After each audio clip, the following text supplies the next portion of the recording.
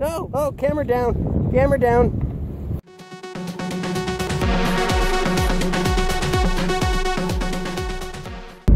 Alright, so we're going to do an activity today that's uh, very traditional to fall.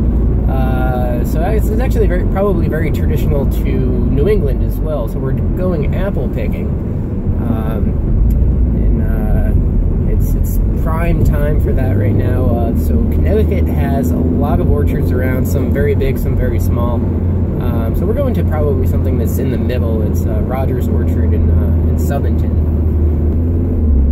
So hopefully we can get a lot of apples today. We can make all kinds of delicious uh, treats with them. Um, don't have anything in mind just yet, but we'll figure that out later. It should be a lot of fun. There's uh, they have a whole big pick your own section, so we'll go there for a little while and see what we can get. Uh, I'm not sure which type are in season right now, but we'll find that out when we get there. Apple orchard. Look at the size of these suckers. Yeah, decent size, I suppose. Oh yeah, look at these, look at these bad boys. I want them.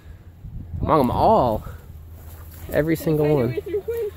It's a jungle of apples. Okay, now this is how you do it. So, apple picking, right? You can always go for the low-hanging fruit, but why do that? Why not go up top? So that's what we're gonna do. Climb the tree. Get the best fruit. Alright, let's find a good spot for this. Ooh, nice view.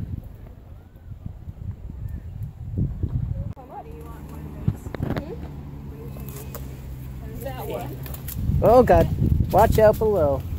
I'm knocking them all down. Oh my god, this one's jumbo. Gold. Well, it's not gold, but biggest one. Oh, oh, camera down. Camera down. I need a bag, I forgot. I forgot a bag. So I guess I have to walk back to the entrance and grab one. Now my hands are full. Yeah, this will be an adventure here. Oh god, yes. And there's more. I stopped myself. Balancing. Balancing. Oh, good. Alright. Need two hands. I think I'm lost. I don't know which way's home. Which way to go? Oh, wait. Oh, oh, okay. No, no. Never mind. Let's see. I'm guessing five pounds. Yeah, shoot. 9.79 pounds. Not bad. Oops. No tree climbing. One of the best parts of fall right here, apple cider donuts, and also apple fritter donuts. Amazing. Hmm. Mm -hmm. Sure why, but I find that very amusing. Dancing plant. Alright, so back at home, uh, I think I'm going to call it quits on this vlog. I'll leave it right here. Uh, so I hope you enjoyed coming along today and going out to Rogers Orchard.